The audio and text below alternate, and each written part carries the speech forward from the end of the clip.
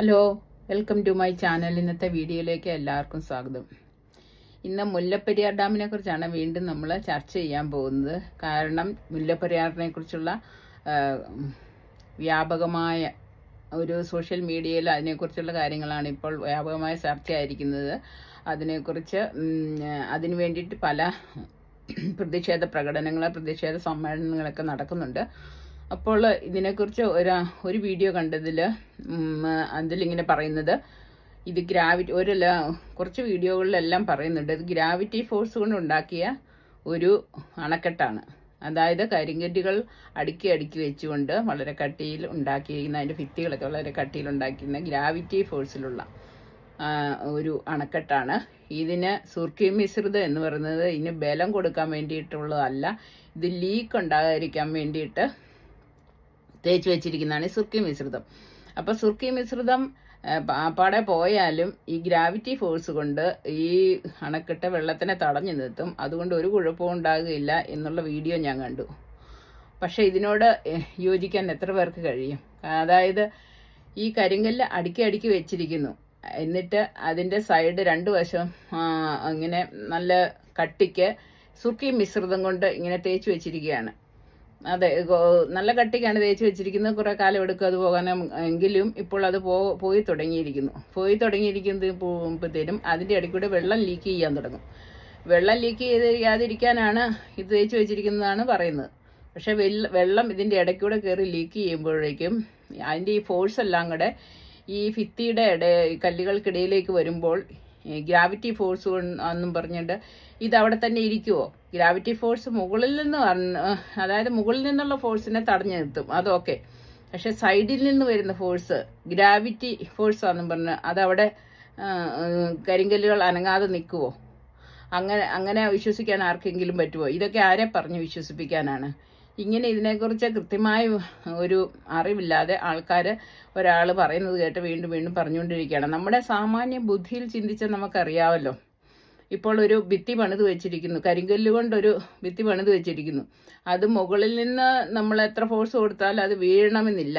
പക്ഷെ സൈഡിൽ നിന്ന് നമ്മൾ തള്ളി കഴിഞ്ഞാൽ അത് അത് ഉരുണ്ട് വീഴുകയല്ലേ? ഗ്രാവിറ്റി ഫോഴ്സ് ആണെന്ന് അത് അതവിടെ അതവിടെ ഉറച്ചു നിൽക്കുകയൊന്നുമില്ലല്ലോ നല്ല ഫോഴ്സിൽ സൈഡിൽ നിന്നും നല്ല ഫോഴ്സിൽ ബലം കൊടുത്തു കഴിഞ്ഞാൽ ആ ഭിത്തി തള്ളിപ്പോവും. കരിങ്കല്ലാണേലും എന്താണേലും.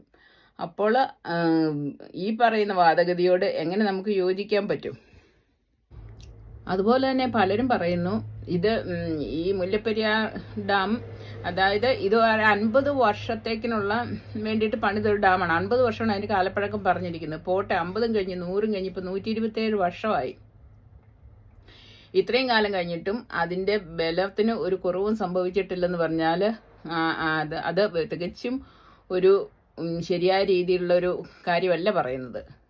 കാരണം നമുക്കറിയാം ഏത് സാധനവും കാലപ്പഴക്കം ചെല്ലുമ്പോൾ അതിന്റെ ബലം കുറയും. അത് ഉണ്ടാക്കിയ സമയത്ത് അന്ന് ആ സമയത്തുള്ള അസസ്മെന്റ് വെച്ചാണ് അമ്പത് വർഷത്തേക്കിന് അത് കുഴപ്പമില്ല. അമ്പത് വർഷത്തേക്കിന് ഇത് വെള്ളത്തിനെ അവിടെ തടഞ്ഞു നിർത്തിക്കൊള്ളൂ. അതിനുള്ള ശക്തി ഇതിനുണ്ടെന്ന് അവർ പറഞ്ഞത്. അമ്പത് വർഷം കഴിയുമ്പോൾ ത്തെ അവസ്ഥ.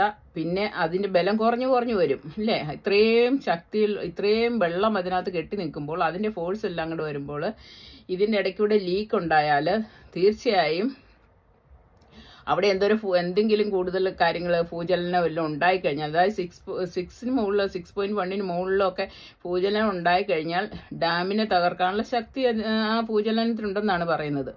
അപ്പോൾ ഇങ്ങനെ ബലമില്ല ബലം കുറഞ്ഞു നിൽക്കുന്ന ഒരു അണക്കെട്ട് അത് എന്തെങ്കിലും ഒരു ഭൂചലനമോ അങ്ങനെ വന്നു കഴിയുമ്പോൾ അത് തീർച്ചയായും തകരുമെന്നുള്ളതിന് നമ്മുടെ കോമൺ സെൻസ് ഉപയോഗിച്ച് നമുക്ക് ചിന്തിച്ചാൽ മനസ്സിലാക്കാൻ പറ്റും. അപ്പോൾ വെറുതെ ന്യായവും യുക്തിയും ആവശ്യമില്ലാതെ പറഞ്ഞുകൊണ്ടിരുന്നിട്ട് കാര്യമില്ല. അവിടുത്തെ ആൾക്കാരുടെ ഭീതി ഒഴിവാക്കുക നിങ്ങൾ ആശങ്കപ്പെടേണ്ട വീഡിയോ. അപ്പം അവർ പറയുന്നതാണ് സോഷ്യൽ മീഡിയ കൂടി എല്ലാവരും ഇങ്ങനെ ജനങ്ങളെ ഭയപ്പെടുത്തുന്നു. അനാവശ്യമായ വീഡിയോകൾ ചെയ്ത് ജനങ്ങളുടെ മനസ്സിൽ ഭീതി വിതയ്ക്കുന്നു. ഭീതി വിതയ്ക്കേണ്ടെന്നൊക്കെ ഉള്ളത് ശരിയാണ് പക്ഷേ നമ്മൾ ചുമ്മാ ഇങ്ങനെ മിണ്ടാതിരുന്നുകൊണ്ട് മാത്രം ഭീതി മാറത്തില്ല.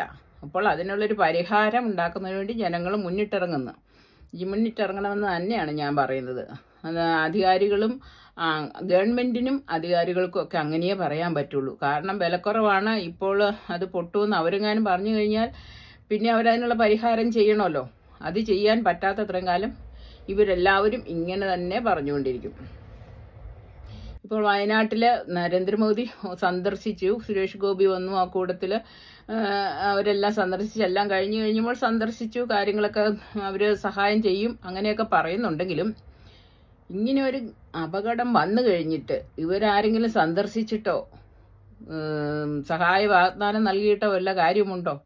ഒരു കാര്യവുമില്ല. ഇപ്പോൾ അന്ന് ഈ മുല്ലപ്പെരിയാർ ഡാം പൊട്ടിയാൽ ഒരു കേരളത്തിലെ ഒരു നല്ല വിഭാഗം ജനങ്ങളും ആ വെള്ളത്തിലൂടെ ഒഴുകി പോകൂലേ? വെള്ളവും വെള്ളം മാത്രമല്ല വലിയ ഫോഴ്സിലാണ്. ഇത് വെള്ളം അത്രയും നാൾ അടിഞ്ഞുകൂടിയിരിക്കുന്ന ചെളി ചെളിയും അതിനുള്ള സാധനങ്ങളെല്ലാം അഴുക്കും അതുപോലെ തന്നെ അത് വരുന്ന വഴിയിലുള്ള മരങ്ങൾ കല്ലുകൾ കെട്ടിടങ്ങൾ എന്തെല്ലാം ഉണ്ടോ അതെല്ലാം ഒഴുകിക്കൊണ്ട് വരുന്ന ആ വലിയൊരു ഫോഴ്സോട് കൂടിയാണ് ഇങ്ങ് വരുന്നത്. അപ്പോൾ ഒരു കേരളത്തിന്റെ ഒരു നല്ല ഭാഗം നല്ലൊരു ഏരിയ അത് നശിപ്പിച്ചു കളയും. പിന്നെ അവർക്ക് ഈ ഇത്രയും ഏരിയയിൽ താമസിക്കുന്ന ഇത്രയും ജനങ്ങളുടെ ലൈഫാണ് അല്ലേ അവരുടെ ലൈഫ് തിരികെ കൊടുക്കാൻ ഇവർക്ക് ആർക്കും പറ്റില്ല. പൊട്ടുകേല പൊട്ടുകേല എന്ന് ഇവർ പറഞ്ഞുകൊണ്ട് കാര്യമില്ല. പൊട്ടുകേല എന്നുള്ളതിന് ആർക്കും ഉറപ്പില്ല. അപ്പോൾ പൊട്ടാൻ നല്ലൊരു ചാൻസ് ഉണ്ട്. അപ്പോൾ അതിനു വേണ്ടിയിട്ടുള്ള നടപടികൾ എടുക്കുന്നത് വരെ നമ്മുടെ കേരളത്തിലെ ജനങ്ങൾ ഇതിനു വേണ്ടിയിട്ട് പോരാടണം. അതിനു വേണ്ടിയിട്ട് കേരളത്തിലും കേന്ദ്രത്തിലും ഇതിനുള്ള നടപടികൾ തുടങ്ങുന്നതിന് വേണ്ടിയിട്ടുള്ള പ്രത്യേക സമരങ്ങൾ അതായത് സമരങ്ങളോ അതുപോലെയുള്ള പ്രതിഷേധ പ്രകടനങ്ങളെ പ്രതിഷേധ റാലിയെ അങ്ങനെ ഗവൺമെന്റിന്റെ ശ്രദ്ധ കിട്ടുവാൻ വേണ്ടി ഈ കാര്യത്തിൽ ഒരു അവരുടെ ഒരു പ്രവർത്തനം അവരുടെ ഇമ്മീഡിയറ്റ് ആയിട്ടുള്ള ഒത്തിരി അവർ വളരെ പിന്നെ സാവകാശമുള്ള ഒരു തീരുമാനമല്ല നമുക്ക് വേണ്ടത് അല്ലേ? പെട്ടെന്നുള്ള ഒരു തീരുമാനം വേണം.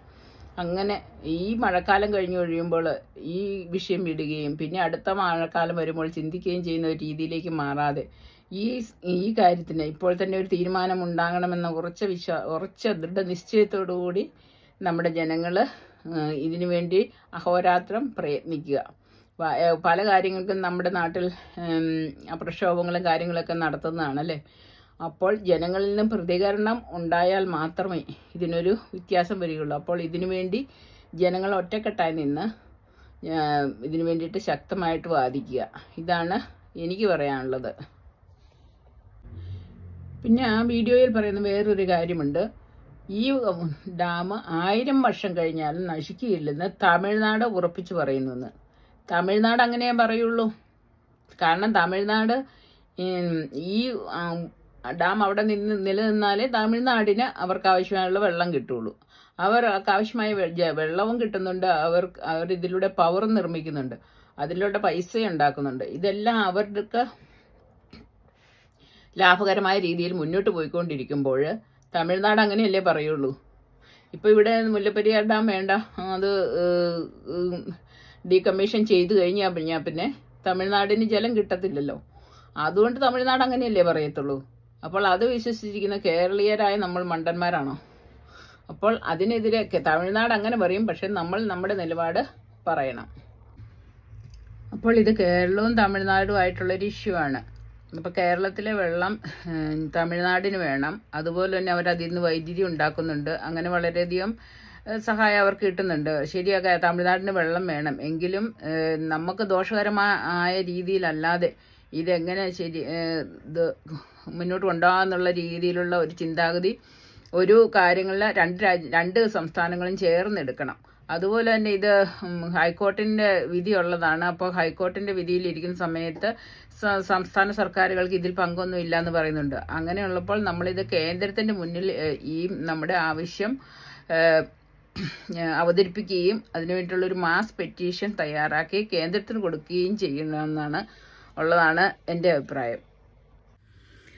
അപ്പോൾ ഇത്രയൊക്കെയാണ് എനിക്ക് ഇന്ന് നിങ്ങളോട് പറയാനുള്ളത്. അപ്പോൾ ഈ വീഡിയോ കാണുന്ന എല്ലാവരും ഇത് മറ്റുള്ളവരിലേക്ക് ഷെയർ ചെയ്ത് കൊടുക്കുക. അങ്ങനെ ഈ കാര്യങ്ങളൊക്കെ എല്ലാവരിലേക്കും എത്തട്ടെ. അപ്പോൾ എല്ലാവരുടെയും സഹകരണം പ്രതീക്ഷിച്ചുകൊണ്ട് അടുത്ത വീഡിയോയിൽ കാണുന്നവരെ എല്ലാവർക്കും ബൈ.